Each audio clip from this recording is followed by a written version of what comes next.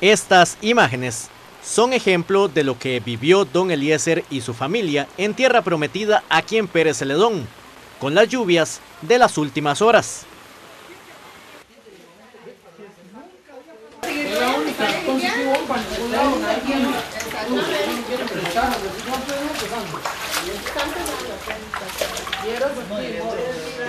Estas personas se encuentran preocupadas porque cada vez que llueve se inunda esta propiedad. La problemática es, eh, digamos, estas alcantarillas. Digamos, hace, qué sé yo, cuatro, cinco meses no sucedía esto porque estábamos de verano, obviamente. Entonces, viene el invierno y como taponearon ahí abajo, entonces esto comenzó a llenarse.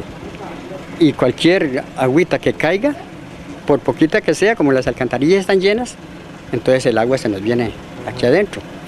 De no tenemos tranquilidad. Anoche, anoche no pudimos dormir, la verdad, pensando en eso, porque como, estaba, como llovió tanto, entonces el agua llegó a, a las de la, del, de, la, de acera, pero ya en temprano, como a las doce y media, esto bueno, ustedes tal vez se dieron cuenta del semejante aguacero que cayó. Y esto fueron, ¿qué? 10 minutos y estaba lleno hasta aquí arriba. Ya sí, yo he estado demasiado ocupada. Ayer fue un día desesperado porque yo nunca se me había metido así como se metió anoche el agua.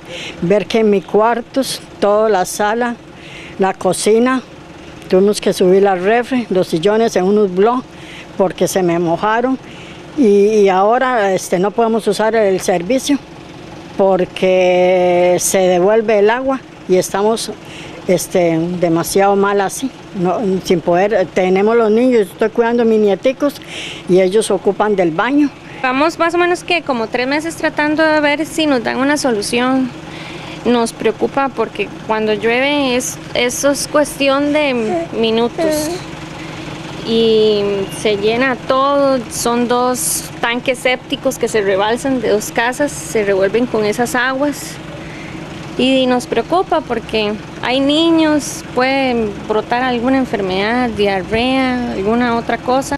Ellos vienen tocando puertas de varias instituciones en el cantón, pero hasta el momento sin respuestas positivas. Nosotros fuimos a la, a la como le digo, fuimos al Ministerio de Salud, y ahí nos tienen que, que, sí, que eso lo están viendo, pero que le están dando prioridad a la, a la pandemia.